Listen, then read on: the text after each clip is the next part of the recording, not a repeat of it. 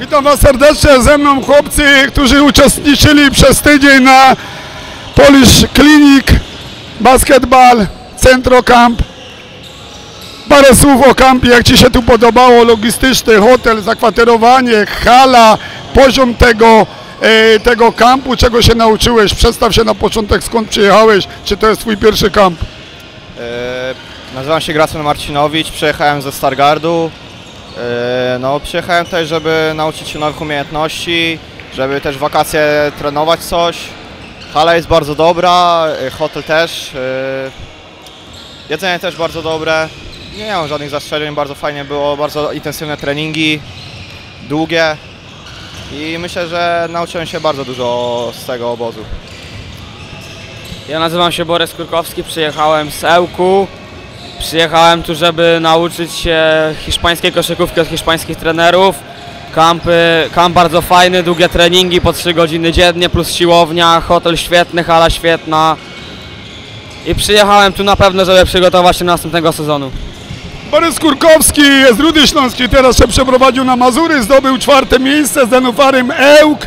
E, Był to największy sukces w historii warmuńsko-mazurskich gier zespołowych. Gratuluję Ci, byłem z Tobą cały czas, obserwuję Cię, monitoruję. Jeździsz też bardzo często na kampy Andrzeja Pluty, który też troszkę tych kampów e, pod, e, pod e, Hiszpanów, tak, pod szkolenie hiszpańskie. Czy właśnie powiedz, czy tu są podobne te kampy? A jak nie, to jakie są różnice?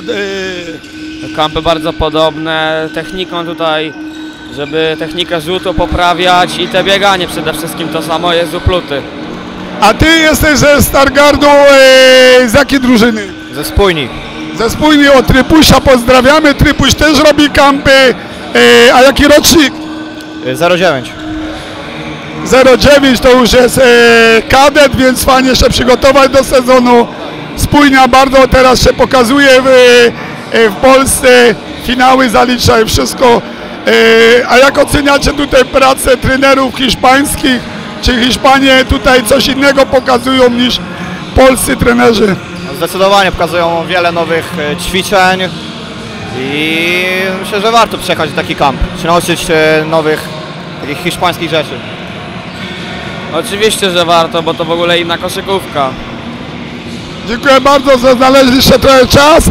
E, możecie teraz e, kogoś pozdrowić. No i jak spędzicie resztę wakacji? E, Pozdrawiam cały swój klub Nenufarełk, Ru- Pogoń Rudę Śląską, rodziców, rodzinę, no i resztę wakacji też pewnie spędzę z koszykówką. No, pozdrawiam rodziców i resztę wakacji spędzę. No jeszcze jadę na obozy inne i wakacje. Dziękuję bardzo. E, Zbyszek Bytomski. Fryna margaryna. Przedstaw się jeszcze. A, Gracjan Marcinowicz. Do usłyszenia.